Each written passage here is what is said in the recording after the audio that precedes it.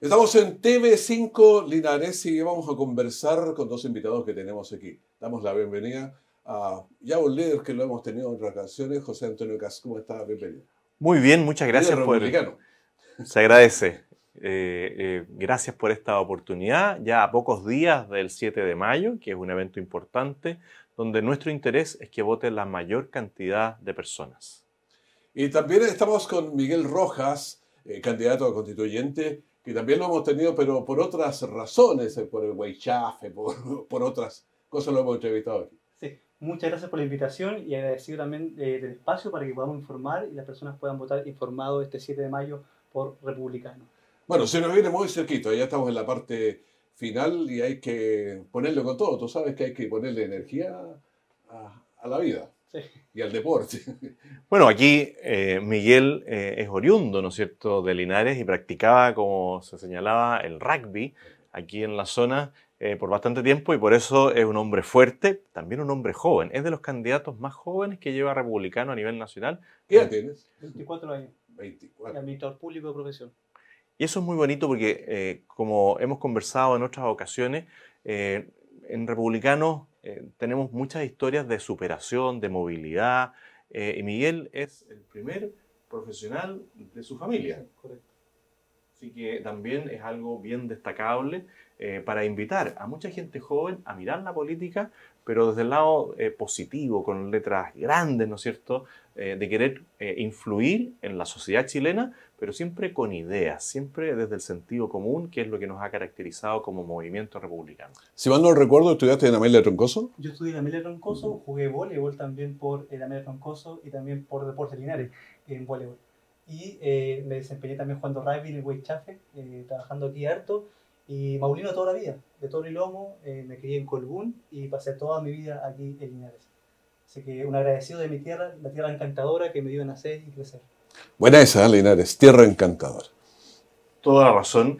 A mí me ha tocado ir conociéndolo de a poquitito, todo lo que es eh, la ciudad de Linares, porque de pequeño uno siempre pasaba por la carretera. Sí, claro. Eh, pero ya eh, en varias ocasiones he podido estar acá y veo siempre el esfuerzo y las ganas que le pone eh, todo habitante de la región del Maule, pero sobre todo Linares siempre con mucho esfuerzo y mucha garra. O sea, lo que pasa es que Linares, o sea, somos parte de la región del Maule con más de un millón de personas, pero la patria comienza en Linares, su primer hecho de armas fue el 6 de abril de 1813, y poquito después la sorpresa de Hierbas Buenas, que en ese tiempo también pertenecía a Linares. Bueno, ahora estamos separados con Hierbas Buenas, pero de este conjunto, después se firmó el acta en Talca, pero así que la patria comienza en esta zona. Buena definición. Buena definición. Bueno, vamos ahora hablando de los principios republicanos. Eh, ¿Qué es lo que quieren plasmar en la Constitución? Bueno, nos vemos enfrentados a un proceso que nosotros no buscamos. Nosotros claramente el 4 de septiembre pensábamos que ahí había terminado este proceso constituyente, porque la ciudadanía en una gran mayoría, cerca de 8 millones de personas, votaron rechazo. Eh, las cúpulas políticas de los distintos partidos políticos, eh, donde no estaba republicano, decidieron llevarnos a un nuevo proceso. Los diputados republicanos lo votaron en contra, pero ya siendo ley, eh, nos surge el derecho de poder participar, pero sobre todo para nosotros el deber de estar ahí y de que en cualquier texto que se plantee o que se quiera modificar estén las bases de la institucionalidad que han hecho grande a Chile. Eh, desde el punto de vista de la libertad, la libertad de enseñanza, la libertad de culto, la libertad de conciencia, eh, la libertad de emprender, que han sido tan cuestionados por aquellos que quieren refundar Chile, es para nosotros fundamental y por eso la energía y la fuerza que pone republicanos en estar presente en este Consejo y a pesar de que no hay ambiente electoral, eh, creo que tenemos una buena posibilidad de representar a millones de chilenos. Ahora, ¿por qué no hay este ambiente electoral que se suponía que iba a ser muy masivo, pero como que ha estado tibio y falta poco? Bueno, hay distintos factores. Las personas están cansadas de tantas elecciones. Eh, por otro lado, el gobierno no ha hecho ningún empeño en difundir que tenemos elecciones obligatorias este 7 de mayo, porque el gobierno ve como eh, en, en- las encuestas de opinión baja y dice, bueno, si estoy bajando, lo más probable es que si vota mucha gente no me va a ir tan bien. Eh, a diferencia de lo que pensaban para el proceso anterior, donde el presidente se convirtió literalmente en el jefe de campaña de la prueba, hoy día no ha hablado de las elecciones del 7 de mayo y todo su gabinete está en silencio. Eh, eso influye. Pero estos ocho días que nos quedan son muy importantes porque una gran cantidad de personas empieza a tomar definiciones y se da cuenta, dice, tengo que votar, ¿por quién voto? Por eso es tan importante que en estos días eh, los medios de comunicación puedan informar, puedan mostrar quiénes son los candidatos de las distintas coaliciones o de los distintos partidos. Aquí van tres coaliciones y dos partidos. El Partido de la Gente va independiente solo y el Partido Republicano también va independiente y solo a esta elección. Miguel Rojas, ¿qué quiere que se plasme en la Constitución? ¿Cómo van a estar los deseos si eres electo para sí, correcto. plasmar? Yo hoy día soy un candidato joven, soy un candidato republicano y nacido criado en la región del Maule. Y yo creo que, como bien decía José Antonio, nosotros los republicanos, eh, republicanos hemos abogado siempre por las urgencias sociales del país. Nosotros votamos rechazo, nosotros creemos que este proceso no tenía que llevarse a cabo. Y un poco lo que yo escucho a diario eh, en el día a día de las personas, que me dicen, ¿por qué un nuevo proceso constitucional si el tema de la inmigración ilegal, el tema de la seguridad, el tema de la educación son temas que hay que solucionar? Y los republicanos hemos siempre estado firmes en mantener la urgencia social de las personas y llevarlas al tema político. Y es por eso que en el texto constitucional yo ante todo soy cristiano y creo que hay valores y principios fundamentales que traen progreso y libertad a una sociedad. Por ejemplo, la, eh, la, familia como núcleo fundamental de la sociedad, el derecho a la vida, la libertad de culto, la libertad de enseñanza, la propiedad privada, los ahorros previsionales de las personas que sean de ellos y que sean heredables y no del Estado, son principios bases de la institucionalidad que es importante defender. Es importante también que podamos llevar eh, como capítulo constitucional y de ser electo, quiero llevar a nuestras Fuerzas Armadas de orden y seguridad para que tengan un capítulo constitucional específico. Porque hoy día vivimos en nuestro país donde la inmigración ilegal está desatada, donde la seguridad es un tema que hoy día urge eh, abordarlo, pero la Constitución tiene que estar como un capítulo específico porque nuestras Fuerzas Armadas de orden y de seguridad tienen una conexión con el poder del Estado. Y ahí también la importancia a la par de los principios y valores que queremos los republicanos. Ahora, ¿cómo hacerlo? Porque seguramente en esta constitución van a haber eh, gente de todas las tendencias. ¿Cómo llegar a armonizarlo? Hay que conversar, ceder un poquito, ponerse intransigente en otras. ¿Cómo lo ven? Bueno, siempre una instancia como esta es de diálogo, de debate, pero eso no quiere decir que uno tenga que aceptar todas las ideas que quiere plantear alguien, porque eh, en la instancia anterior vimos que la izquierda no quiso debate y pasó literalmente una especie de aplanadora sobre una minoría eh, que había sido una minoría circunstancial. Ellos ganaron por distintas circunstancias, ¿no es cierto? Pero no respetaron ningún tipo de diálogo. Nosotros somos distintos. Los republicanos siempre queremos el bien para la patria. Y eso implica conversar, eso implica ponerse de acuerdo en ciertos temas. Pero hay temas intransables. Y en esos nosotros no vamos a ceder. La libertad de enseñanza, la libertad de culto, eh, la familia como núcleo fundamental de la sociedad, la independencia de los poderes ejecutivo, legislativo, judicial, eh, son para nosotros básicos. Que esté en las Fuerzas Armadas y de Orden es fundamental, que tengamos un Banco Central independiente, que tengamos una Contraloría con fuerza. Son cosas muy relevantes para el desarrollo y el progreso de Chile. También podemos hablar de temas nuevos, como la Defensoría de las Víctimas. En todas las campañas presidenciales, todos los candidatos hablan de la Defensoría de las Víctimas y cuando salen electos, como que se olvidan de la situación. Bueno, nosotros creemos que tiene que haber ahí un órgano con la misma fuerza que tiene el Ministerio Público o la, Defensoría Penal Pública, ¿no es cierto?, que atiende a los delincuentes con abogados. Bueno, nosotros creemos que tiene que haber una Defensoría de las Víctimas con mucha fuerza queremos plantear también el tema de cero narcotráfico.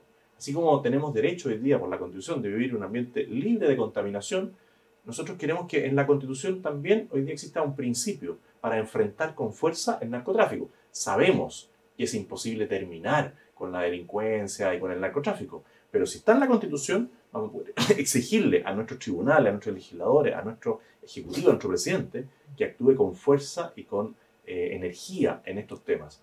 Por lo tanto, ¿estamos dispuestos a conversar? Sí, pero hay temas que son para nosotros intransables. Hay temas que están complicados ahora como las migraciones. O sea, todo este problema del, del país con venezolanos, colombianos, de, todos lados. Sí, nosotros encontramos de que hoy día nuestro país es más inseguro que antes. Hoy día la violencia eh, está eh, arrasando nuestro país y lo que me preocupa a mí como candidato republicano en la región del Maule es que se empieza a normalizar los delitos que hoy día tenemos. Hoy día tenemos que los delitos se han agraviado. Tenemos sicariatos, tenemos tiroteos, tenemos que eh, lamentablemente han muerto tres mártires en menos de un mes. Y vemos también que existe un gobierno indolente que ha sido incapaz de poder priorizar la urgencia de las personas. Hoy día lo que las personas me dicen es que no quieren un nuevo texto constitucional. La gente quiere que se le solucione el tema de la seguridad, que se regule el tema de la inmigración ilegal. Recuerdo que hace 5 de años aquí en Linares nosotros podíamos estar tranquilos a las 6, 7 de la tarde. Hoy día todos los locales comerciales están cerrados a las 6 porque es inaceptable que los delincuentes afuera estén de fiesta y la gente del campo, la gente de bien, que cada día le pone el hombro a este país, tenga que encerrarse en sus casas. Yo creo que tenemos que abordar este tema a nivel constitucional, pero también no generar falsa expectativa a las personas, porque la constitución regula el poder político, nos protege las libertades contra el Estado, sino que son las políticas públicas, el Congreso, que tiene que generar grandes reformas en materia de seguridad e inmigración ilegal. Yo creo que el que quiera entrar a Chile tiene que entrar por la puerta y no por la ventana que es el líder republicano para, para este conflicto, que, que es serio. ¿eh? Bueno, el lunes recién pasado estuvimos con Miguel y con otros candidatos y diputados también haciendo un punto de prensa justo eh, delante de los tribunales de justicia, donde está la Corte Suprema, la Corte de Apelaciones en Santiago, pero que también mira hacia el la ex sede del Congreso. Y ahí planteamos el tema de la migración, eh, perdón, ahí planteamos el tema de narcotráfico cero, pero el día, el día lunes anterior estuvimos en La Moneda hablando de la inmigración irregular cero. Y eso requiere una protección de las fronteras. Por eso es tan grave que los expertos hayan sacado el capítulo de las Fuerzas Armadas y de Orden eh, y nosotros con toda la fuerza vamos a querer reponerlo. Porque la seguridad nacional, el resguardo de nuestra soberanía, de nuestras fronteras, requiere estar también a nivel constitucional. Y quienes van a ejercer esa labor también tienen que estar ahí. Por lo tanto, lo que decimos nosotros es que el tema de fronteras, el tema de seguridad nacional tiene que estar en la Constitución, pero también los agentes que controlan que eso se lleve a la práctica. Bueno, cuando se usted era candidato presidencial, incluso propuso una zanja y le pusieron don Pepe Zanja, ¿no es cierto? En ese minuto fue bastante fuerte. ¿Qué lo, ¿Cómo lo ve ahora? Bueno, el tiempo nos ha ido dando la razón. Eh, y lo vemos hoy día en hechos prácticos, y era algo que a mí me tocó ver varias veces en Colchane. Porque aquí muchos que se dedican a la política eh, lo hacen desde un escritorio. La ventaja que hemos tenido nosotros, la, fortuna que hemos tenido, es de poder estar en terreno, también la voluntad, porque uno tiene que tener ganas de ir. Y en Colchane veíamos esto que hoy día está corriendo la frontera con Perú, una confrontación entre muchas personas que quieren entrar y pocos funcionarios públicos, carabineros, Fuerzas Armadas, que tienen que evitar que esto ocurra. El contacto físico eh, siempre va a ganar la persona que tiene más cantidad, porque en este caso eh, los militares no pueden hacer uso de sus armas de fuego. O sea, ¿qué pasaría si un militar dispara eh, y le causa heridas, ¿no es cierto?, a una mujer, a un niño, a un hombre? Sería un escándalo.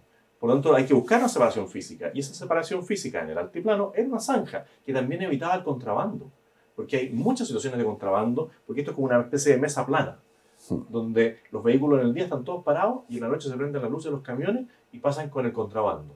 Bueno, si hubiera una zanja, eso no ocurriría. Y si viene una gran cantidad de migrantes, no pueden cruzar esa zanja y están obligados a pasar por el paso habilitado.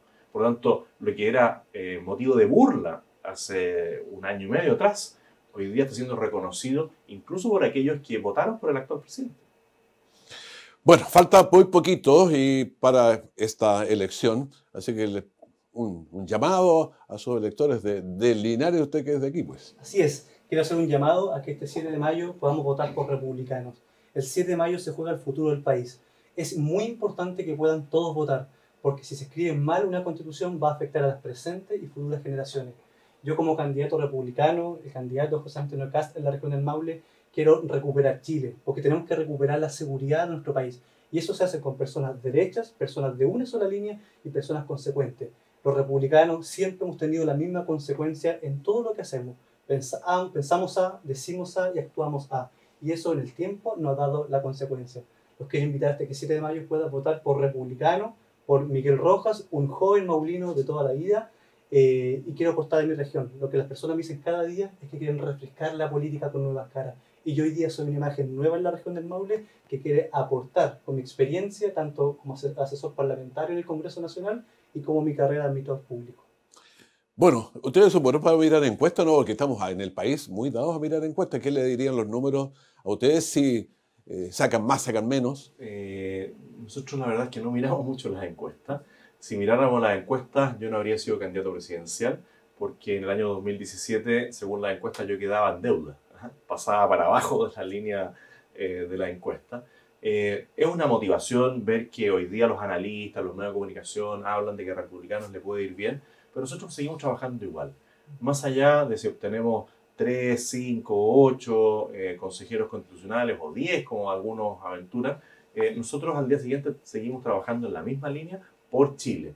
Por lo tanto, lo que le pedimos a la ciudadanía es que se informe, que vote informada, pero sobre todo que vote. Más allá de si vota por republicanos o no, para nosotros es importante que todos nos comprometamos con el bien eh, y el futuro de la patria. Bueno, agradecemos entonces a Miguel Rojas Soto que ha estado con nosotros. Muchas gracias por la invitación y agradecido por el espacio. Antonio Cas, muchísimas gracias por estar con nosotros aquí en TV5. Muchas gracias a ustedes. Bueno, hemos eh, conversado, se nos viene una elección ya muy pronto y usted su responsabilidad es votar. Nosotros le entregamos el panorama lo más completo posible para que usted conozca todas las opciones. Gracias.